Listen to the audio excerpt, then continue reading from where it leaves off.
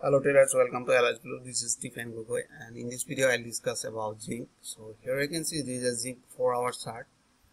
So yesterday uh, zinc I told that they are forming a morning star, right? This is candlestick pattern you can say this is a morning star pattern. So this was bearish candle and this is the indecision candle. So you can say like uh, doji pattern. So after that we have seen a bullish candle. So right.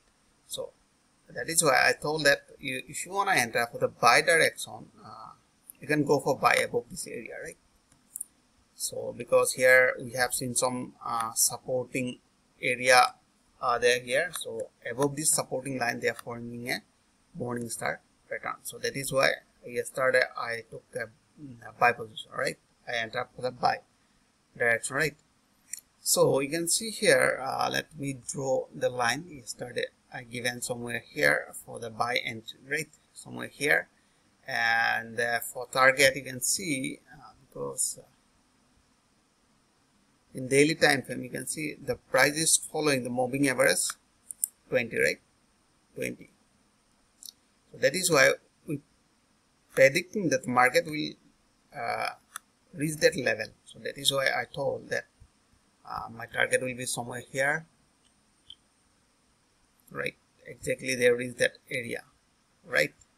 So somewhere here. Uh, that was my target.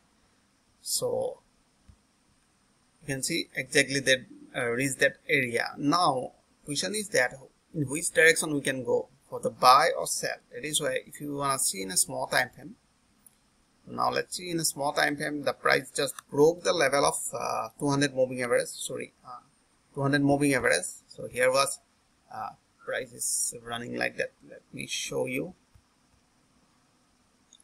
Now you can see here the price is creating lower low lower high lower low right? After that they broke this lower low and they create new higher high. So after that lower high higher high lower high and higher high.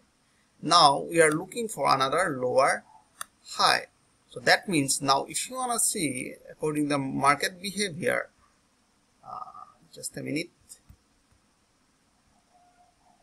Now you can see the price is following the moving average of uh, this one. You can say uh, this is 50 moving average right? Red one. So you can see uh, price here they are forming a resistance line 50 moving average right? Uh, this is red they broke that area. So again they are forming a support here 50 moving average so again they are forming a support here. That means this is a buy entry that was and that was a buy entry forming a support here. So here you can see next uh, they create a new higher high and price retrace toward uh, this moving average. So this trading strategy called bounce bouncing trading strategy right? So next entry point will be here. Because this is uh, strong support are there. If you want to enter for the buy you just close your position in this area around 188 meters.